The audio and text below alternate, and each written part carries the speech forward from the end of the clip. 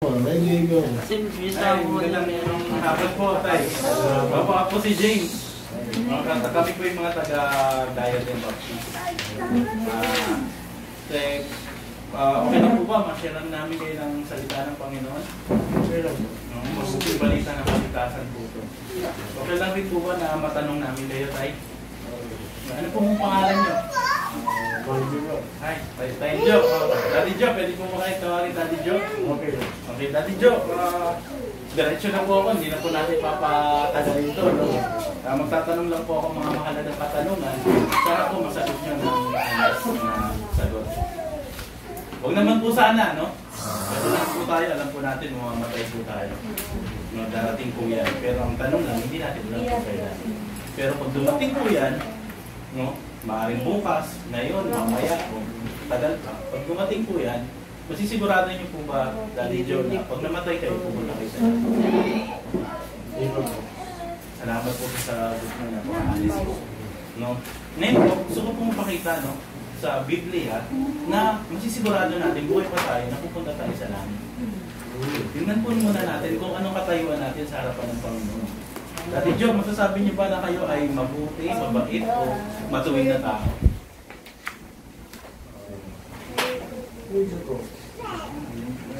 Yan po ang sabi ng lahat, no? Pero ang sinasabi po ng Biblia, tingnan po natin kung ano po katayuan natin sa harapan ng Panginoon. Sabi po dito, sa Roma 3, Gis, pwede po bang pabasa? Ah, gaya ng nasusulat, walang sino mang matuwid. Wala, wala ni isa. Sabi po ng Biblia, may matuwid po ba? Wala po. Sabi po dyan, wala, wala ni isa. Bakit po tayo wala pong matuwid? Sabi po sa 23, pabasa po. Sapagkat ang lahat ay nagkasala at hindi nakaabot sa kaliwatatian ng Diyos. Salamat po dahil, no? Pag sinabi pong lahat ay nagkasala, may exemption po ba doon? Wala po. Bakit lahat po tayo nagkasala? Kayo po nagkasala, ako po nagkasala, lahat po ng tao nagkasala. At walang matuwid, wala ang isa. Ang, ang kikwento ko po sa inyo, mabuting balita ng kaligtasan. Pero po, para ma-appreciate po natin yung mabuti, makita natin kung ano yung masama. Nasabi ko po ngayon sa inyo, yung masamang side nung balita na to.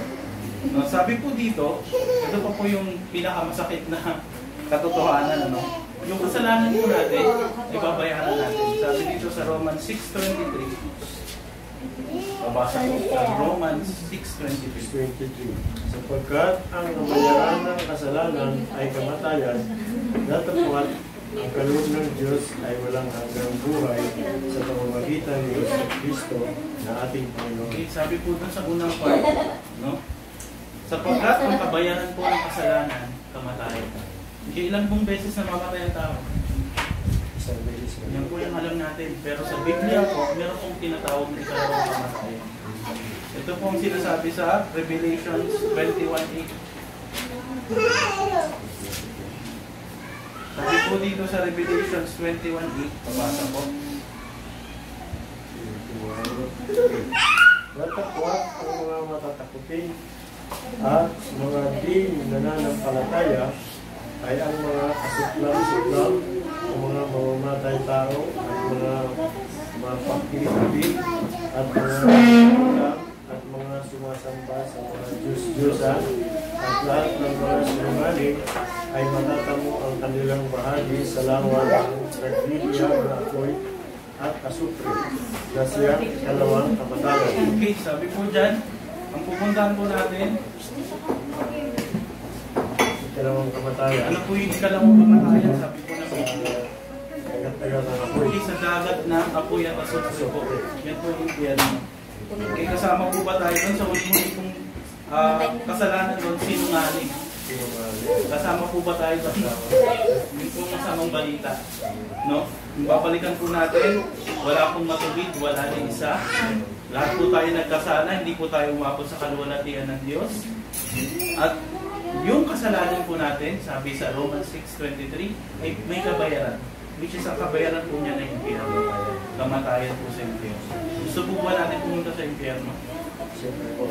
Ayaw po natin. Yan naman po ang lahat. Kung ikaw ay nasa tamang pag-iisip, hindi mo po na naisip pumunta dyan. May naalala po ba kayong ginawang Panginoon para hindi tayo pumunta sa impyerno?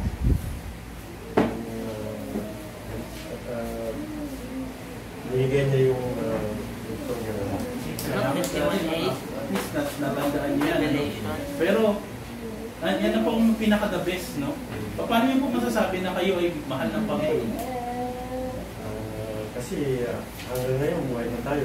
Yun, ganda po yun, ano? Pagkamulat ng mata mo, buhay ka pa. Pero dito po sa Biblia, may pinakamatindi, ultimate na pinakita niya ang kanyang pag-ibig. Sabi po dito sa Romans 5.8, nabasa ko.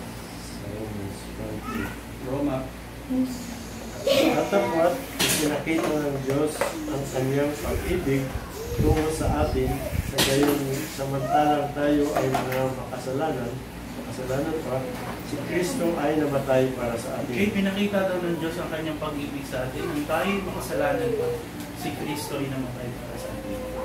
Okay?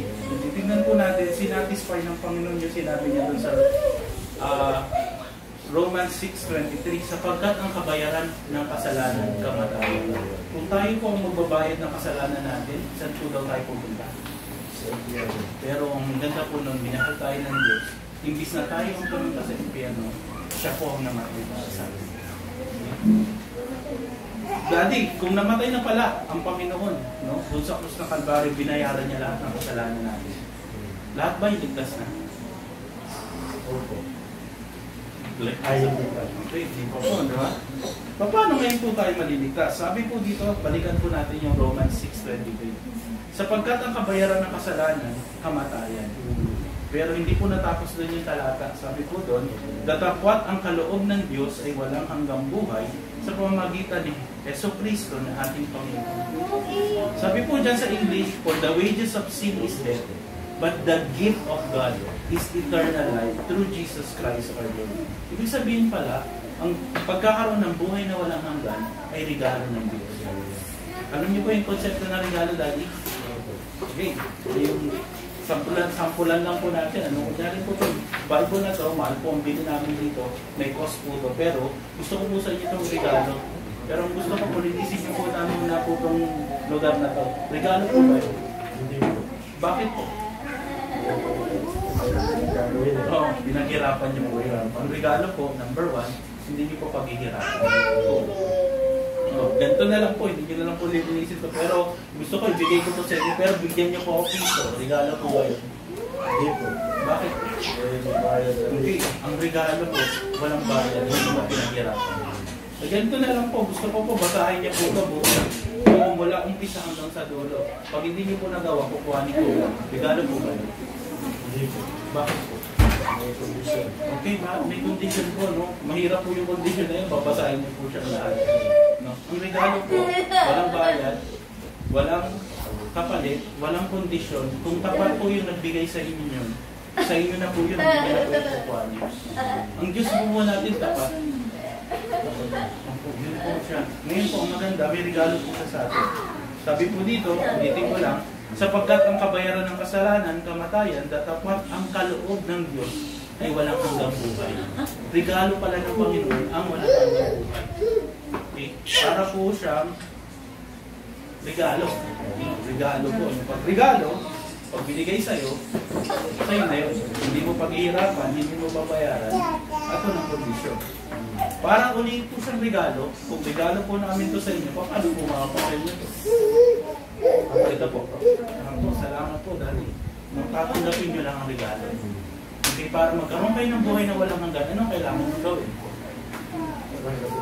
Sino ang tatanggapin? Yan po, ito po yung equivalent nun, Daddy. Napagtanggap sa Panginoon. Sabi po dito sa Romans 6.20, uh, sa Romans 10, 9, sabi dito,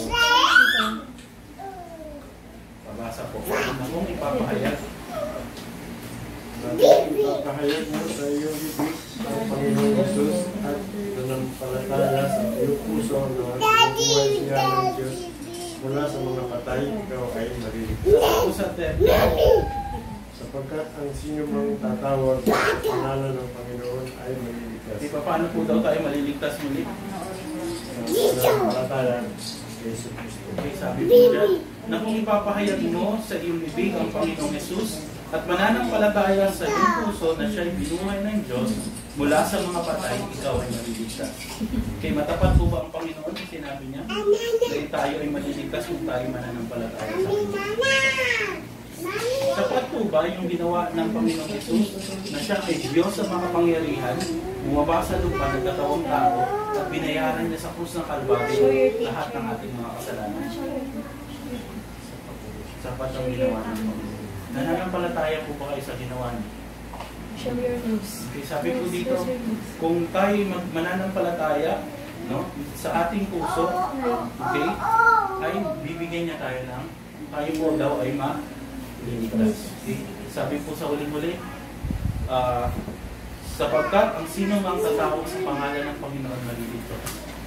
Daddy, gusto niyo po bang maligtas ngayon? Okay, ano pong kailangan natin muling gawin para maligtas? Kanino po? Sabi po ba dito, sum, sum, ah, sumapi tayo sa malaking reliyon para maligtas? Gumawa ng maraming mabuti. Mabuti po yun, pero sinabi po ba dito na dapat gumawa tayo ng mabuti? Paano uli po tayo maliligtas?